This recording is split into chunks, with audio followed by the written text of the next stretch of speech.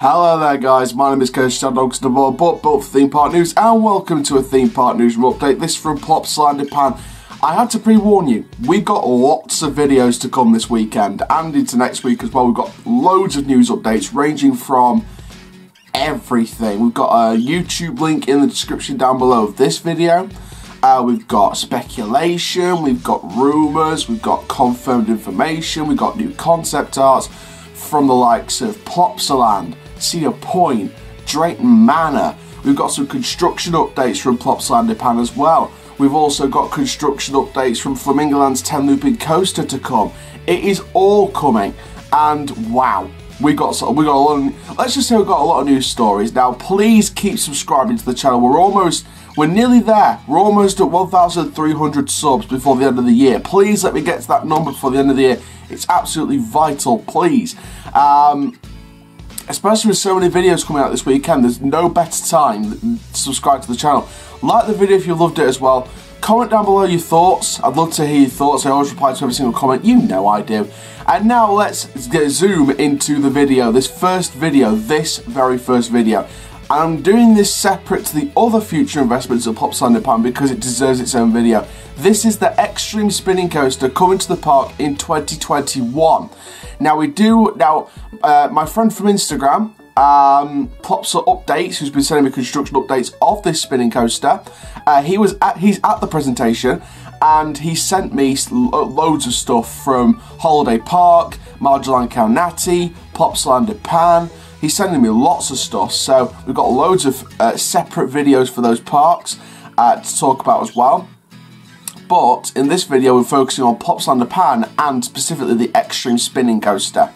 Now, this, uh, I'm going to put the POV link in the description down below, and while I'm talking about um, the you know, the, the, the, sort of layout details, I'm going to share with you a concept image for the station on your screen now.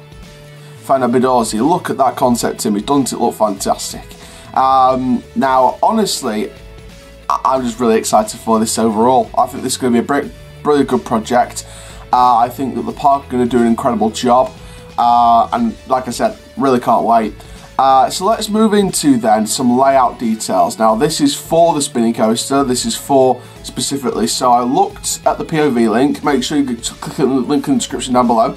Uh, and basically, this is the order of elements for the coaster. So it starts out with a curved JoJo roll, sorry, out of the station. Now this is the first extreme spinning coaster to have this JoJo roll at the station. Obviously you've seen JoJo rolls to a penny nearly everywhere. Uh, you got one on Hydra the Revenge, which is the floorless coaster at Dorney Park. Uh, you've got one on Copperhead Strike, which is a Mack launch coaster over at Carowinds that opened this year in 2019, one of 2019's big investments. Um, and this is the first extreme spinning coaster to have this element in the world. So uh, they're going for a record breaker, this one.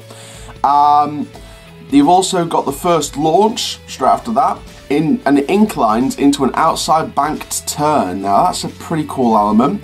Going into a cliffhanger drop before entering a banana roll. Now, banana roll is a very good element as well. It's a very, very cool element.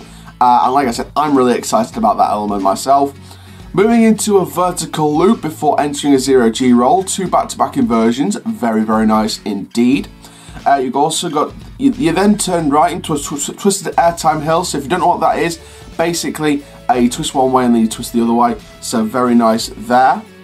Uh, then you move into the second launch, which is a pop-up hill type launch, so you sort of dip down and up with the launch cable still on, so that's kind of like a Copperhead Strike second launch. Uh, then you've got a double inverting dive loop. Now this is a very interesting element. I'll see what uh, the ride experience would be like with that kind of uh, double inverting dive loop. But I've looked at it in the POV and it looks fantastic.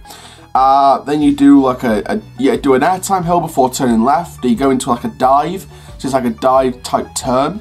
Uh, then a then a couple pop up air times before the final brake run.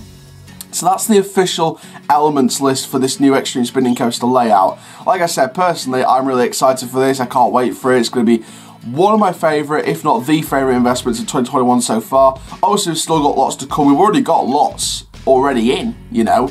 Um, you know, you've got Chessington's Drop Tower, you've got Um, you know, plenty of other stuff in Europe. Gröna Lund's inverted coaster. you've got the Tron coaster at Magic Kingdom. Uh, you got Europa Park possibly getting one in 2021, maybe 2022. Um, you know, plenty of stuff still to be confirmed, but um, you know, all around the world, 2021 could be a really good year, just like next year's going to be. So overall, then, I'm really excited about this layout. I hope you guys are really excited about this layout as well. Make sure you like this video if you've loved it, comment down below your thoughts on the layout, and subscribe to the channel, and click the notification bell so you never miss a YouTube video. And for now, guys, my name is Coach Chall, Killing the Coaster Life, and I'll see you guys in the next video very, very soon. Take care. Have an awesome day, my friends.